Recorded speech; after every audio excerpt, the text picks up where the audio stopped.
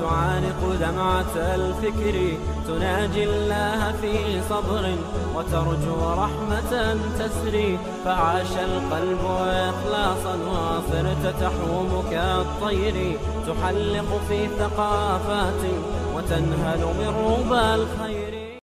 حور العين تناديني فدعيني أماه دعيني لتبكي دموعك يا أمي عن دربي لا لن تثنيني أماه طريقي قد وضحى والقلب يسير به فرحا حرب وجهاد متقد ودم Assalamualaikum warahmatullahi wabarakatuh, brothers and sisters.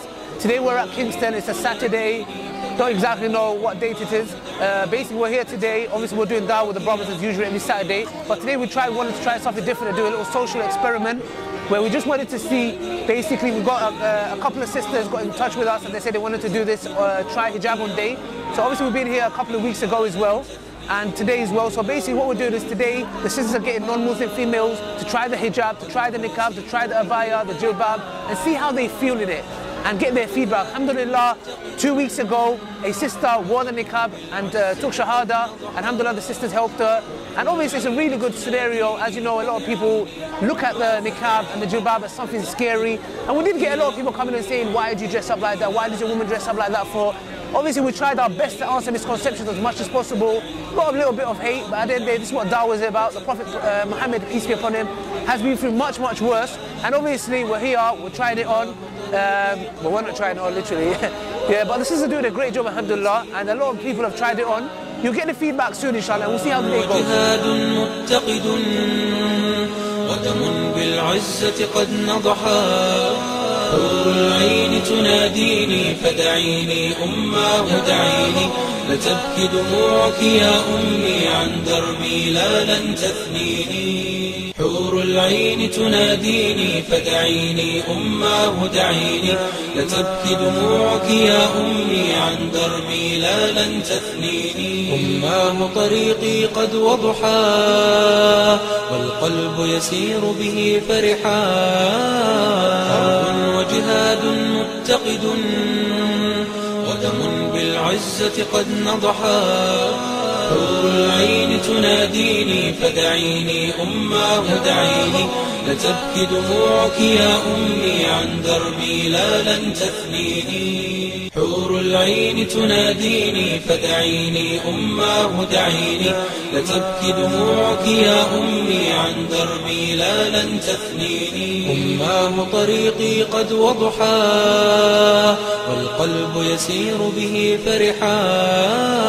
حرب وجهاد متقد ودم بالعزة قد نضحا حور العين تناديني فدعيني أماه دعيني لتبكي دموعك يا أمي عن دربي لا لن تثنيني Okay, so how do you feel when you wear it? I feel really warm, like it like keeps all the heat in my and I feel quite like religious, even though I'm not like a part of your religion. Have you ever tried on a head covering before? Yeah. I have once at my friend's house because like she got married to like a person from that religion. Okay, I feel humble and modest and beautiful.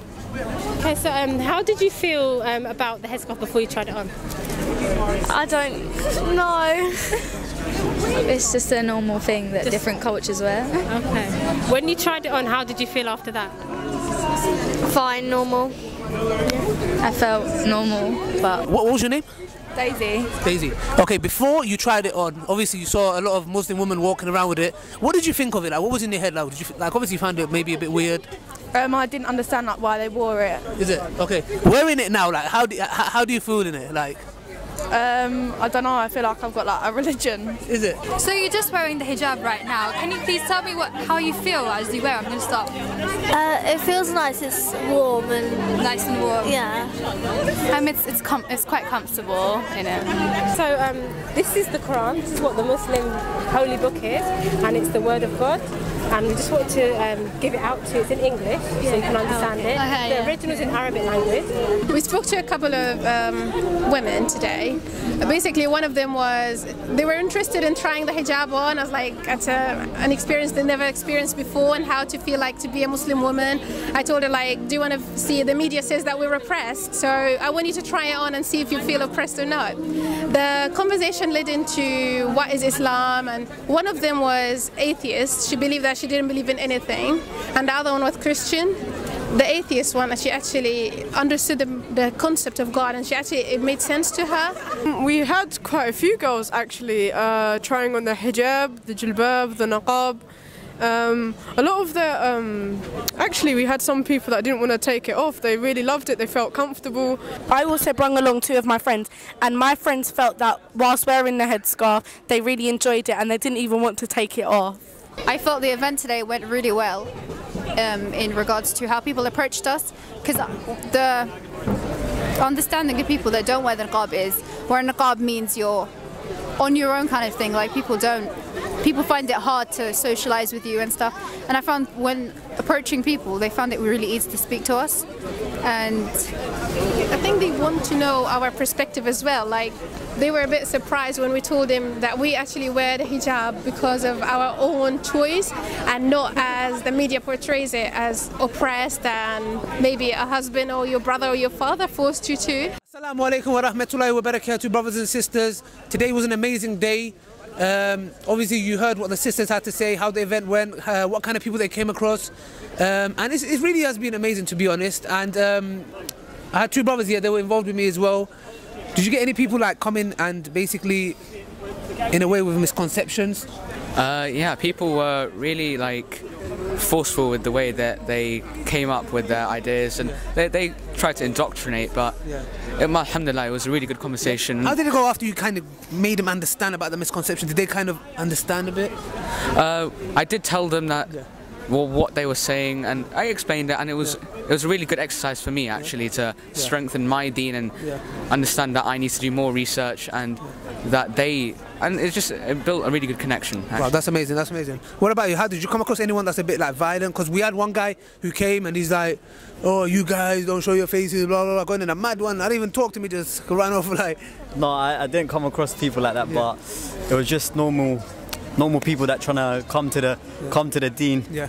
uh, learn about the deen. But I just had some couple people, Yeah. couple of people saying, Yeah. "What is Islam? What does it teach? Yeah. Who is Prophet Muhammad?" Sallallahu alaihi wasallam, Yeah. teaching them how the Bible says it in their Yeah. in their own Bible, Okay. and they learn it, and Okay. it was good. That's good. So regarding what the experiment the sisters did, do you think it was effective? Do you think we should have like more sisters engaging with this kind of stuff? Yeah, it's, it's good to see sisters coming out trying to give dawah to other Muslim, uh, other uh, Sisters, yeah. other sisters and women, Non-Muslim, yeah. non-Muslim, because it shows them why why our women do it cover up, not because we force them, Exactly. because they want to, have modesty because of the Quran and Sunnah tells them to. Yeah, exactly. What about you? Do you think it was effective today what the sisters did? Like, you know, because we had a lot of uh, non-Muslim females coming and they were really interested. Yeah. They wanted to try it on. Yeah, these non-Muslims, they were really, really um, open, and it cleared a lot of misconceptions, like uh, Fatullah said. Yeah. Mashallah, it was a, it was a great, great, great day. Yeah. Yeah, so brothers and sisters, what we can say is today was an amazing day. It's, it's obviously when it comes from our mouth, we're saying, look, our women are not oppressed. It's different to we having sisters come in and basically saying, you know what, we are not oppressed. We wear it because of this and this, because it makes it better for them, for them to understand. So obviously, dawah is important, and we have to do as much as we can. You know, if if if, if you want, you can do this in your own city. Obviously, for safety, get your brothers or cousins, whoever's involved, to be there with you to keep an eye. You know, we tried our best, and I think really did. I think we did really well. You know, alhamdulillah. Like a lot of people liked it, even if they didn't take it seriously. Like you know, you never know. Like two years down the line, they might think, you know what? Let me see what that religion was about. I tried it a couple of years ago, so it can have that. Um, effect uh, in their heart, you never know. Allah subhanahu wa ta'ala guide them in any way. Do you get what I'm trying to say? You know, they might try the niqab and be like, you know what, yeah, I feel a bit safe in it. You get what I'm trying to say? So, alhamdulillah, it was really amazing. Inshallah, share this video with non-Muslim friends, and inshallah, try to do your own thing as well. You know, um, that's about it from us. May Allah's mercy and blessings be upon you all. Assalamu alaikum wa rahmatullahi wa barakatuh.